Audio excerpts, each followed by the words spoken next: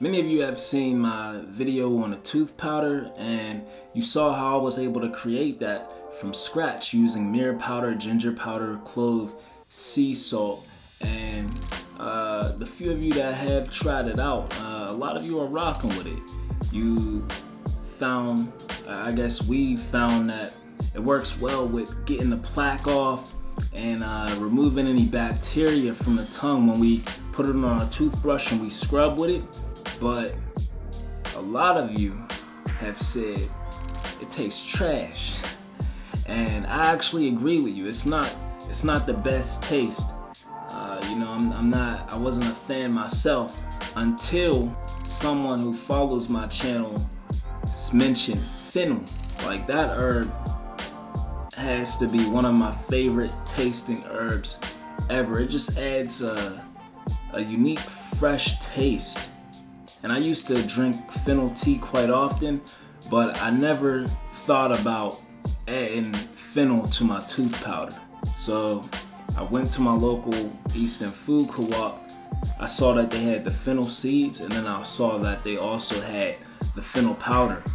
Now, you can use the fennel seeds, and what you can do is grind them up and turn them into a powder. But if they have the powder there already, you know, you might as well grab that unless it's an astronomical price in comparison to the seeds. So uh, the price difference in in the seeds and the powder from where I'm located wasn't much of a difference. I went home and I tried, I tested out the new recipe, which was I, I typically use one tablespoon of myrrh, about a pinch of clove, a pinch of sea salt. I use one teaspoon of ginger and then I also added in one tablespoon of fennel powder. Now that just that just revamped the whole tooth powder in general. Like I actually can say that my tooth powder now is quite enjoyable to use. And that's not that that used to be a reach. The last time I made it, um, well, I never said it was enjoyable, but I said it worked. You got yourself a banging tooth powder to use.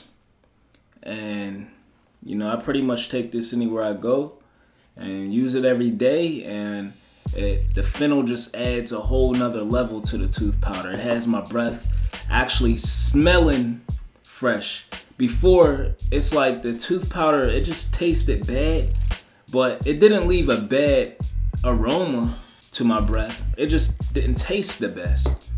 It just when I rinsed it out, I, I, it just wouldn't smell like anything. Now the fennel adds a, an additional nice smell to it, and they also say the fennel is uh, quite good for your gums as far as um, it, it just helps assist in healing your gums.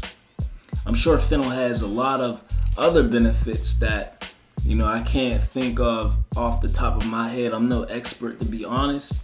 Um, anything that I do recommend, uh, you know, I, I, also recommend, along with what I recommend to you, is that you do your own research. No matter how reliable the source has proven to be, just you got to find your own way.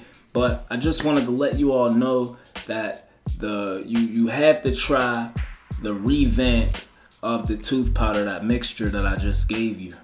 And um, shout outs to the subscriber that did mention that. That's that was a fire recommendation, and I'm gonna keep I'm gonna keep working on on this field of hygiene. You know, um, you know, for for the tooth powder. Not only that, but I think the next move is to figure out a mouthwash that I could use. Uh, please let me know in the comments if you have tried the tooth powder from before, and then um, try this mixture too as well. I would I would be interested in your thoughts as to what you think about it, and um, you know, does it add a whole uh, a world of difference for you, or is it mediocre? But I think it adds a world of difference for me with the fennel. So please, uh, I'm really curious to hear your thoughts. And um, let me know down in the comment section below if you happen to try this mixture out or if you're looking forward to trying the mixture out. And yeah, that's all I had for today. Headed out to Florida, the sunny state, and um, you know get away from the cold with the family. So I hope you all enjoy your weekend and extra holiday. Until next time, to Tau Nana.